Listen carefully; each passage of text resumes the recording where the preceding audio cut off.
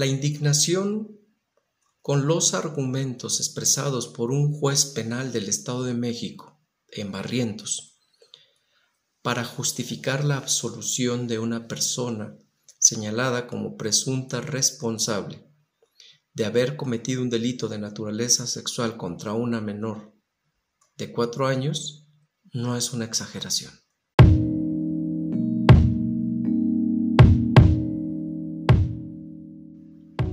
Imagínense que un juzgador plantee en una audiencia que sí le creyó a la víctima de cuatro años el tema del tocamientos, pero que la víctima nunca señaló el lugar, el día y la hora en la que estos hechos ocurrieron.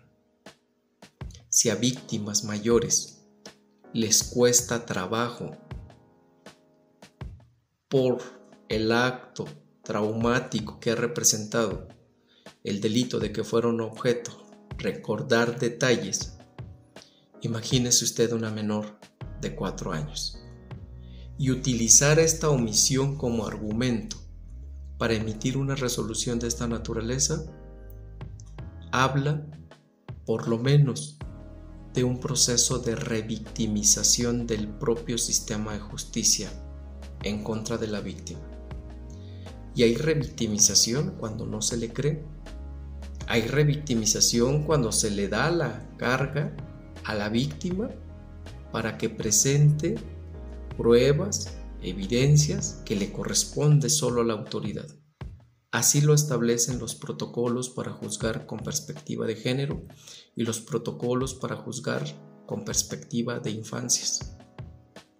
Y evidencia algo que es fundamental. Tenemos que insistir en un sistema de justicia penal que esté del lado de las víctimas. Tenemos que insistir en los procesos de profesionalización y de capacitación de todos los eslabones del sistema de justicia para que dejemos de responsabilizar a las víctimas por el fracaso del sistema de justicia que está a cargo del Estado.